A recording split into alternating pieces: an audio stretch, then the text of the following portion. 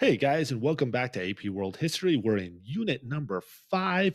We've been taking a look at all of these major political and economic revolutions, uh, spanning from thought processes like the scientific rev to the Enlightenment to political revolutions in the Americas and in Europe. Um, and now we're going to take a look at a different kind of revolution and one that's arguably much more important, and that's the Industrial Revolution. In terms of events in human history, uh, maybe only the agricultural revolution during the Neolithic era was more important for humanity in terms of creating systematic change that would drive human beings further and further towards what some might see as their destiny. So let's just go ahead and dive right into this thing. We're going to be taking a look at uh, some of the beginning aspects of the Industrial Revolution. This will take us through uh, the various causes and some of the historical context. And then in subs- uh, subs- subsequent videos, we will be taking a deeper dive into the effects of the Industrial Revolution. So, with no further ado, let's go ahead and hop into our objectives take a second, pause on this screen. Make sure you have uh, collected these objectives, and you will know you are successful at the end of this presentation if you can contextualize the Industrial Revolution, if you can define the term Industrial Revolution, if you can describe the causes of the Industrial Revolution, if you can explain the importance of coal and iron in industrial production, and finally, if you can identify the differences between the cottage, cottage industry and industrial production. All right, so go ahead and pause the video right now. And then when done, go ahead and start again. Now, it's been very helpful for us to think about uh, historical events in terms of key concepts and big ideas. So, while the objectives will lead you through some of the various content points, let's try to create a conceptual focus to help us map out the Industrial Revolution and how it fits in both to the broader aspects of Unit 5, but also the story of modern human history. So, we're going to take a look here today at how environmental factors contributed to industrialization from 1750 to 1900, which in turn led to new technologies that altered economic systems and social structures. Right? How do we get from a, uh, a, a standpoint where human beings have been advancing intellectually and politically uh, to uh, create more freedom to arguably where we are in the modern world which is how the individual might be seen as a cog in the machine of the state apparatus, right? So, taking a look at this social hierarchy, we can ask ourselves is this an accurate representation? Did humanity really lose its way because of the Industrial Revolution? Did all of the promise of the Enlightenment and the political revolutions that precede the Industrial Revolution, did those values get sold out because of capitalism and money? Well, in order to answer a question such as that, we'll have to take a deeper dive look into the Industrial Revolution itself. Now, Let's talk contextualization or broader historical context because the Industrial Revolution didn't just happen. There was a series of events that needed to take place before the Industrial Revolution in order for it to really uh, take hold. Starting in the 15th, 16th, and 17th centuries, we know that Europeans went through a massive um, growth spurt. I think is the best way to describe it.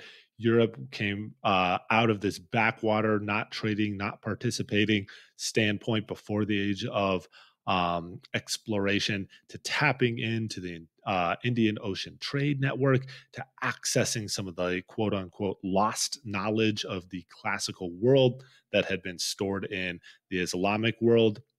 And then Europe became really dominant, specifically in the Western Hemisphere, because of all this new technology and because of a little help from smallpox, right? Now, as the Europeans expanded their worldwide power, whether it was the Portuguese into the IOTN or it's the Spanish and then the French and the English into North and South America, they set up new colonies, right?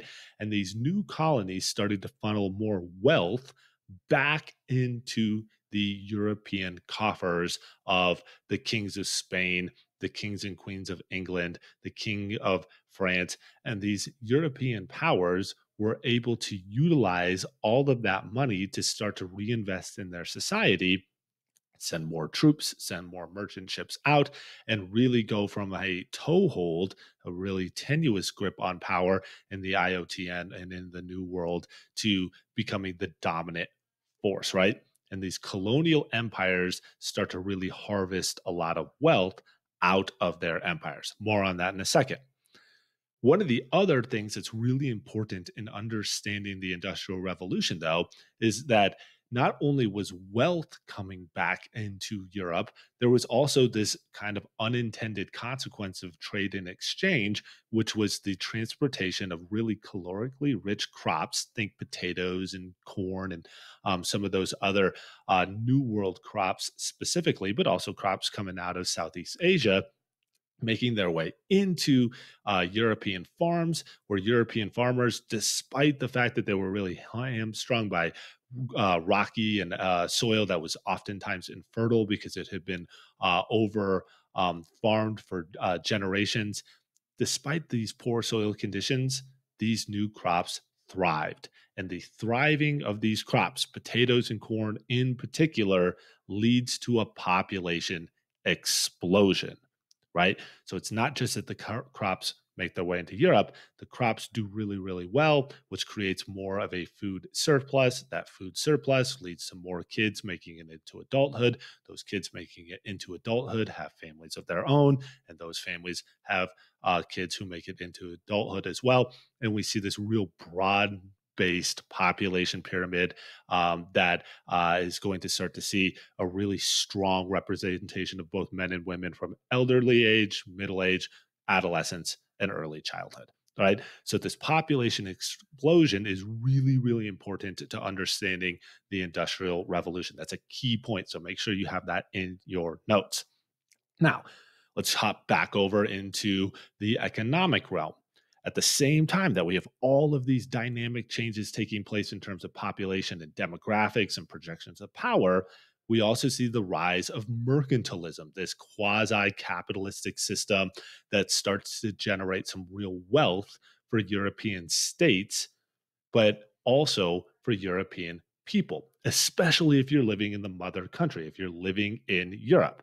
And as we will see, one country, England was really hooked up by its mercantile relationship with its colonies, specifically the North American colonies, and was able to utilize that really one way trade wealth generation system where all the wealth and all the resources are making their way into the mother country of England to start to create new wealth, which then could be uh, reinvested into both trade, but also in the generation of new markets, right? More people especially all these new people who are being born because of this population explosion, have more access to capital. Capital is money. And those people who have more access to money could then start to buy more things. All right. So make sure you got all this stuff down in objective number one. We are moving on to objective two. What is the Industrial Revolution itself? Well, basically, Industrial production is when you start to utilize machines to replace human labor, right? Those machines are oftentimes going to be much better at producing uh, goods that are of higher quality at a faster rate, which means that over time, you'll have more goods in the market, and that market will be inundated with goods that are also cheaper. So now we start to see how all of those historical contextualization factors can help lead to the Industrial Revolution. You start to have these changes in technology, owing in large part to advances in science that took place during the scientific revolution and the Enlightenment. And those advances in science, mathematics, also start to create more advances in technology, which start to churn out cheaper, better goods, which then could be bought by consumers who are growing in number and have more access to capital because of the colonial relationship, right? So we see this nice, clean relationship between all of the antecedents, all the preceding events leading us into this industrial revolution. And the place where the revolution really kicks off is in England. And there's a myriad of factors. We're going to take a look at how capital, colonial markets, raw materials, workers, and the merchant marine all help lead to a much broader industrial process. But before we can even get into that, England had to go through a little bit more reform, um, not political, not economic, not social, but just in terms of farming. So we're going to take a quick look real uh, at the agrarian state of England and how there was some small revolutionary changes that start to occur in the 1600s and 1700s that make Europe, uh, specifically England, a much more viable option for farming.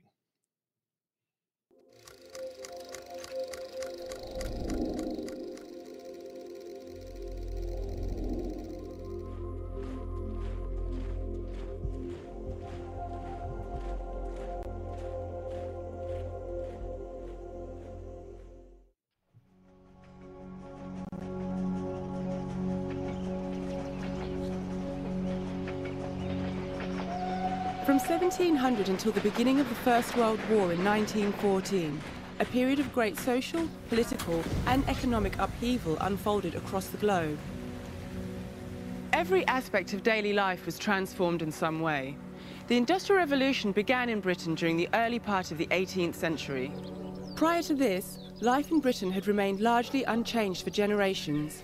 People lived in agrarian societies, Farming was ruled by the seasons, and the harvest was at the mercy of the sun, rain, and wind. There are many contributing factors that made the Industrial Revolution possible. Too many to cover here. In this program, we will focus on the agricultural revolution, the rise of the factory, new technology, and the role of Britain's empire. I don't know about you, but I wouldn't be happy with the nickname turnip. Well, Believe it or not, one Englishman, Lord Charles Townshend, was given the nickname Turnip Townshend, and we're about to find out why.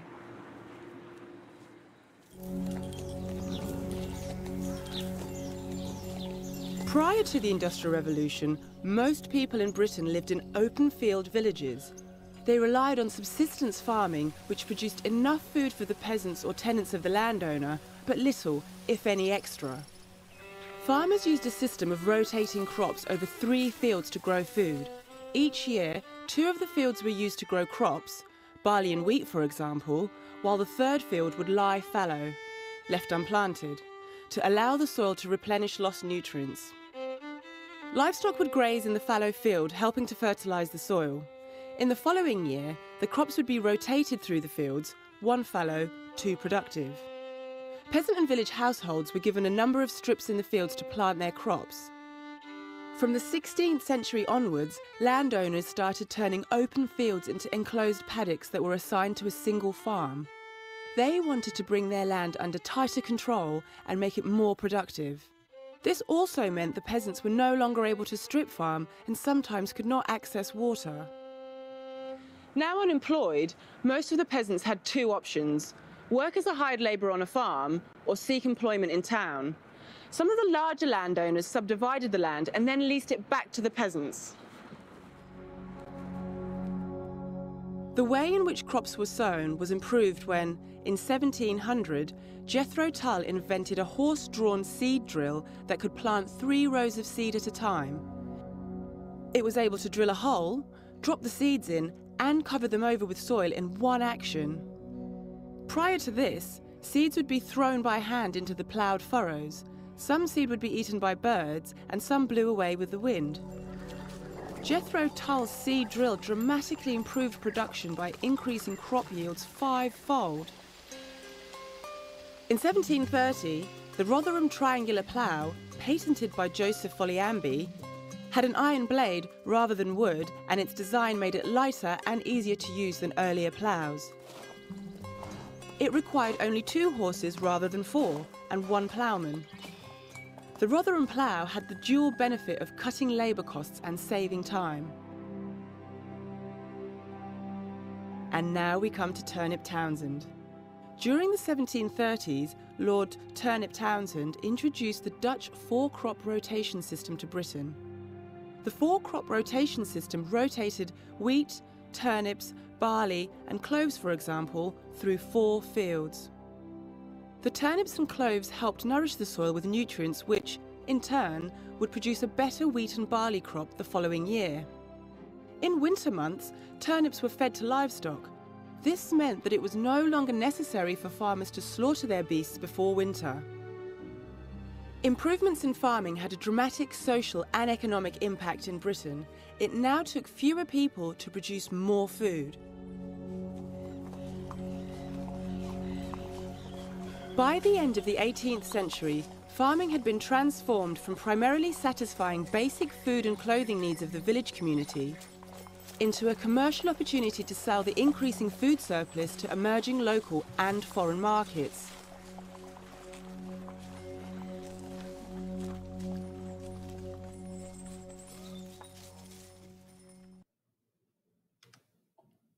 So England has a leg up then uh, in terms of uh, getting started with the industrial process because now we have this burgeoning lower class group of people who need jobs, but also we have more industrialization and commercialization taking place. So you're already starting to see uh, some of the confluence of bringing together of both changes in farming, but also changes in demographic. Now, let's add into that some of the other factors that we talked about before, starting with capital. Well, as I stated in our contextualization piece, there was more capital or money that just existed in society, right? So there's more people with more money who are trying to make money with that money. We call that investment. So now we can start to see the investment in various industries take place in England. At the exact same time, you have more people who are looking to work, right? Those people could become laborers in, in some sort of new industry, which at this point in time, we really don't have, but we'll see is basically the perfect industry for industrialization. All right. So we had this all this money, all this capital that can be used to reinvest in buildings, machinery, or the extraction of raw materials. Now, let's like add in the fact that there's all these markets existing in England during this time, especially uh, the English colonies in North America, which have not yet broken away. So keep that in mind. The North American colonies, those mercantile markets, are still in play for England. So you know you have more people who need finished goods because all the raw materials have been sent back. You have all this money that could be invested into production. And in England, many of the people who had traditionally been farmers are no longer employed, in being farmers, right? So England's colonies give it access to new markets who had sent over lots and lots of raw materials, but we're in need of finished goods. Right. So it's another factor that's going to lead to the industrialization of the English economy. Now, speaking of those raw materials, we know that we're getting wood coming over from North America, we're getting cotton coming over from North America, and then later from uh, India and the Indian Ocean Trade Network. At the same time, though, England had its own natural resources that are going to be perfect for industrialization. And I'm thinking coal and iron here specifically. So England had this geographic advantage. Its environment had already millennia before England was even thought up as a uh, group of people. We're talking way, way, way back to the very beginning of planet Earth. England was seeded out with iron resources that were easy to extract because they were really close to the surface right? You're not going to have to mine very deep to get access to tons of iron. Then factor in going back to the times of like dinosaurs. Ooh, exciting, right? All of these old forests that had died and then been compressed into layer upon layer, sometimes, you know, hundreds of feet, feet, thick of uh, pure carbon, right? We just call that coal. And so now England has easy to extract iron. It has vast, huge quantities of coal that are easy to extract. That coal is going to be discovered and it's going to become the perfect fuel for industrial machines, right? You got a fuel, you need some sort of energy output um, to build with. Well, you got the coal. And then if you're going to build big machines that are going to be doing lots and lots of work, wood's not going to cut it. But hey, there's iron. Right, now you could take that iron and coal production and start to actually track the industrial revolution, right? So we can actually see as the industrial revolution gets more uh, and more um, uh, energy really there's just more and more focus on the industrial process we start to see the extraction of coal increase from 6 million tons to 12 million tons. Uh, iron extraction goes up 250% um, so that by the time we get to the 1800s the 19th century we're seeing an extraction of 130,000 tons of iron. And the amount of effort that needs to go into this extraction of these resources is relatively small right? Which then means people are going to be more willing to invest in some of the new technologies that are going to require the coal and the iron. But we're going to have more on that later on, right? Now, lastly, you need some sort of workforce. But again, due to the fact that we had all of that food coming over uh, into England from the American colonies. And then we had the Enclosure Acts, which kicked most of the farmers off of the farms, there's a ready made workforce, right? So we see this huge population increase taking place in rural England because more and more of those families are seeing more and more of their kids into adulthood, like I talked about before. And then, like we saw in our video, the Enclosure Acts, which was taking of open communal land, fencing it off, and making it impossible for farmers to freely access that land led to uh, a huge migration of workers into cities and those workers need jobs and it just is going to turn out that those workers can get jobs in some of these factories that are being built because we have all this iron and coal and we have a high demand of products and we can pay for all this because we have the capital right? So if we just see this perfect confluence all of these different what seem like disparate threads all combining together to make one particular outcome right? And then lastly and this cannot be downplayed, right? England had a really massive navy and what we would call a merchant marine. It's a fleet of ships that can be used to send products out.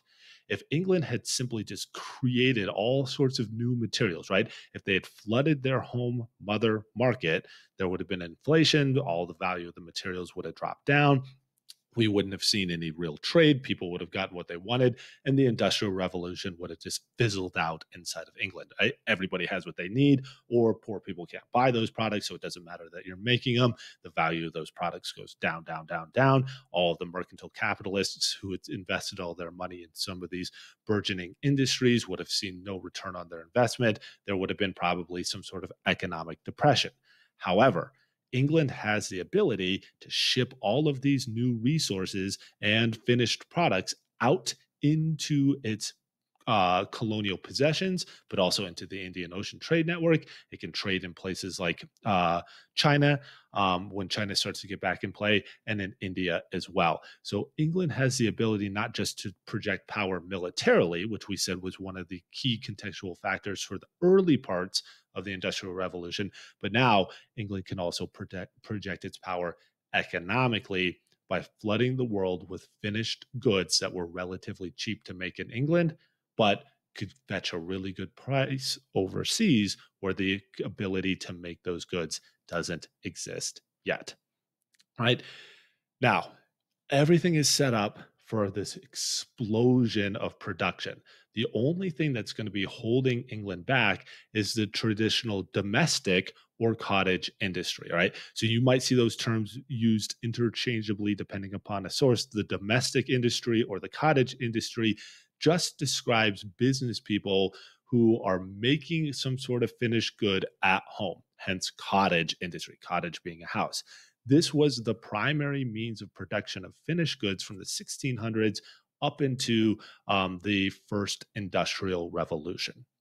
Right, workers would depend on the delivery of raw materials. Right, those raw materials would be brought to the house somebody in the house would start to synthesize the raw materials into some sort of finished good. And then, depending on the good, uh, it might be sold uh, to market as is. I'm thinking here like cloth, like cotton cloth, or some uh, form of good uh, that could be then further refined down, right? Think about like a blacksmith and somebody who might be supplying iron, and then that iron could be used to create uh, secondary tools uh, in a secondary market somewhere else. Either way, the vast majority of the work taking place is to being taken place inside of the house and the ability to create lots of materials really, really quickly is not going to uh, exist. So the domestic system, which had worked really well when you didn't have a high demand for goods and you didn't have lots of people who might need some of those goods, no longer is going to be a viable option. The domestic system or the cottage industry could not keep up with demand, right? The lady working at home, spinning cotton thread and then using that cotton thread to turn it into bolts of cloth is not going to be able to keep up with the demand that is existing inside of the colonial markets and in England during that time. Right. So let's kind of review this in song form. You guys ready? Enjoy, especially for you 1990 uh, addicts, right? all you people who love the 90s.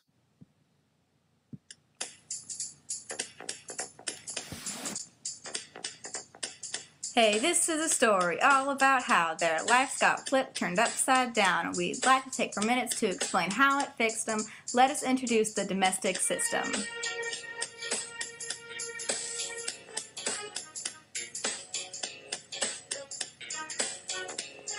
In places like England, all the UK, in their cottage is where they spent most of their days, carting and spinning and weaving all cool, making them textiles outside of school. So basically, the domestic system was when all the manufactured products were produced on small scales in individual homes. Through the textile industry, families spent their time in their homes using the three stages carding, spinning, and weaving with materials such as wool, silk, flax, and cotton. The pros of this system were the following. Families could work at their own speed in their own homes. Working, work and living conditions were generally better due to windows allowing air ventilation. Rest could be taken when needed, along with meals. Children had someone watching them, and since everyone would work from the home, family units were usually strong. The products were usually good quality. But a, but a couple of problems made conditions no good. Started making trouble in the neighborhood. So conditions seemed pretty great for all the cottage dwellers, but life wasn't all that it seemed. The process was slow, and they lost lots of times in the exchanging of products from one cottage to the next to continue the next step in the process. Not enough product was produced to sustain the ever-growing population of the UK. The new adapted source of water power couldn't reach many of the cottages, and while the families lived in the same environment they worked in, waste around the homes collected quickly all these people moved in and they got pretty scared. They said, We're moving to the factories and coal mines over there. With the increasing population, the cottage system became insufficient and didn't produce a, a, sufficient amount of product. This resulted in the shift from working in individual cottages to working in large industrial factories. They gave up the work ethic about Century 19. They yelled to the factories, You're harsh and you're mean. But they looked all around them. The factories had fixed them. They produced more than they did in the domestic system.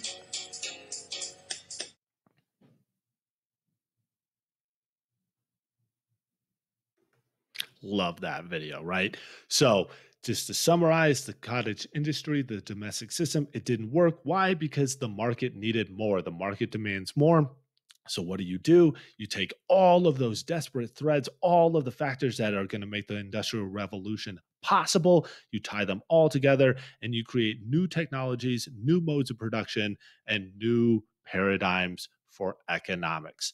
But in order for us to get into that, we're going to need to take a deeper dive look into the textile industry itself, which was the first industrialized industry in the UK, and we're going to need a lot more understanding of technologies. So for now, I'm going to go ahead and sign off. Make sure you go back, check out those objectives, that conceptual focus, and make sure you review. Thanks for your time. See you next time. Bye.